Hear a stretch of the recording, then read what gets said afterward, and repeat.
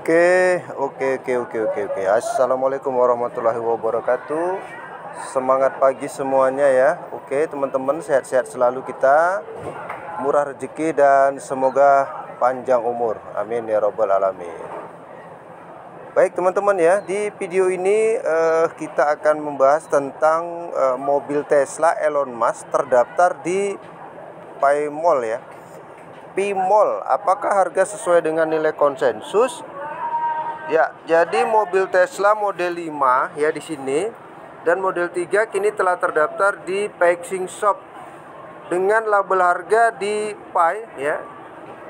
Ini adalah pertama kalinya merek Tesla akan terdaftar di platform anak perusahaan uh, Pi ya, peluncuran Pi, Pi, Pi Chain Mall ya. Uh, perusahaan Pi sejak peluncuran Pi Chain Mall lah itu maksudnya. Lalu mobil Tesla tidak umum ya dan tidak murah sehingga kehadiran mereka di mall digital dengan kesiapan pedagang untuk mengumpulkan pembayaran dalam Pi e, menandakan terobosan yang tertunda bagi komunitas Pi. Pelopor masih optimistis bahwa model Tesla smartphone juga akan terdaftar segera setelah diluncurkan secara resmi. Nah kemudian Pixing Shop adalah mall digital yang menerima Pi dan Yuan Cina untuk pembayaran pada produk apa pun yang terdaftar di platformnya teman-teman ya. Ini makin hari makin mantap, makin luar biasa teman-teman ya. Wow. Kemudian CEO Tesla Elon Musk memiliki minat pada aset kripto dan telah banyak berinvestasi dalam Bitcoin. Ethereum, Litecoin, dan Dogecoin. Dia saat ini dikabarkan akan melakukan beberapa pembicaraan dengan pemerintah Nigeria mengenai minatnya untuk menambang lithium ya di negara tersebut. Kemudian e, menurut pengamatan di Pixing Pixing Shop, mobil Tesla yang terdaftar memiliki harga mulai dari 20 pi hingga 8 pi namun nilai pasar model Tesla 5 adalah sekitar 104.990 dolar sampai 156.990 dolar yang berarti harganya tidak sesuai dengan nilai konsensus Pi ya. Ini gambarnya teman-teman ya.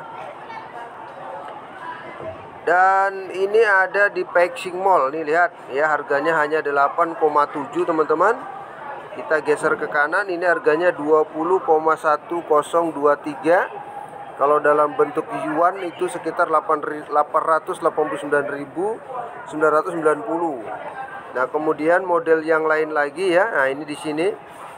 Ya ini adalah naked care. Kemudian Tesla imported model S harganya 20 dolar. Eh 20 pi teman-teman ya Nah ini dia Tesla Care terdaftar di Mall Digital Packaging ya Oke kita lanjutkan dulu informasinya supaya uh, melengkapi ya Mobil lain yang, di, yang ditemukan di platform adalah berbagai model Rolls-Royce, kemudian Mercedes-Benz, Toyota, Honda, Ferrari, Volvo, Suzuki, Ford, Land Rover, dan banyak lagi yang lainnya teman-teman ya. Makin mantap lah kalau seperti ini.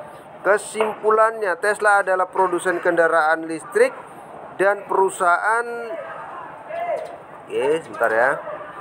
Dan perusahaan energi bersih yang dipimpin oleh miliarder Elon Musk. Tesla juga merupakan penjual kendaraan listrik ya plug-in terbesar ya. Kemudian Tesla adalah salah satu perusahaan paling berharga di dunia dan tetap menjadi pembuat mobil paling berharga di dunia dengan kapitalisasi pasar lebih dari 840 miliar US dollar. Pada tahun 2021 perusahaan memiliki penjual kendaraan listrik baterai dan kendaraan listrik uh, plug-in ya atau plug-in paling banyak di seluruh dunia men menangkap 21% pasar baterai listrik murni atau murni listrik dan 14 14% pasar plug-in ya. Termasuk uh, hibrida plug-in. Melalui anak perusahaannya Tesla Energy perusahaan mengembangkan dan merupakan pemasang utama sistem fotovolta di Amerika Serikat ya. Ah itu teman-teman ya. Udahlah kalian tinggal pilih aja rencananya kalian mau beli yang mana.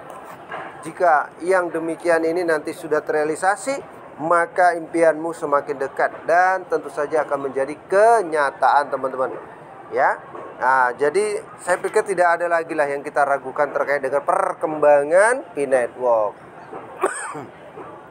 Kecuali kecuali ya kecuali memang anda sudah tidak tidak merasa penting lagi dengan Pi Network saya pikir itu hak kita masing-masing.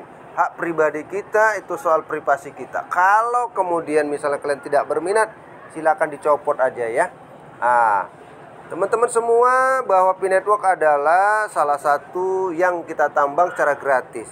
Ingat ini adalah rezeki harusnya kalau kita mau berpikirnya seperti itu. Jadi janganlah menolak rezeki karena ini gratis ya buat kita sikapi saja dengan bijak dan positif sehingga kita tidak terbebani oleh berbagai persoalan yang kesannya lambat KYC, yang lambat mainnet, yang lambat open mainnet, yang lambat respon dan lain sebagainya.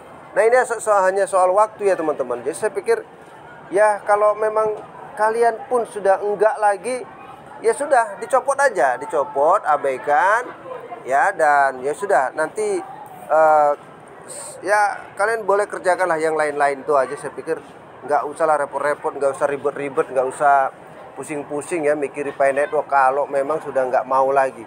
Nah bagi yang masih komitmen konsisten dan masih tetap istiqomah ya sudah jalani saja. Karena ini hanya soal waktu teman-teman ya. Jadi kita lihat hari ini bahkan mobil Tesla mobil yang diproduksi di perusahaan Tesla dengan pemilik miliarder orang terkaya di dunia adalah Elon Musk ya gambarannya sudah sudah sampai pada tahap seperti ini. Nah kalau ini tidak benar pasti Elon Musk akan komplain, pasti Elon Musk akan mempersoalkan ya hal-hal seperti ini. Ya teman-teman itu saja informasinya dan sangat luar biasa. Mudah-mudahan anda sukses semuanya. Salam kaya rame-rame. Assalamualaikum warahmatullahi wabarakatuh.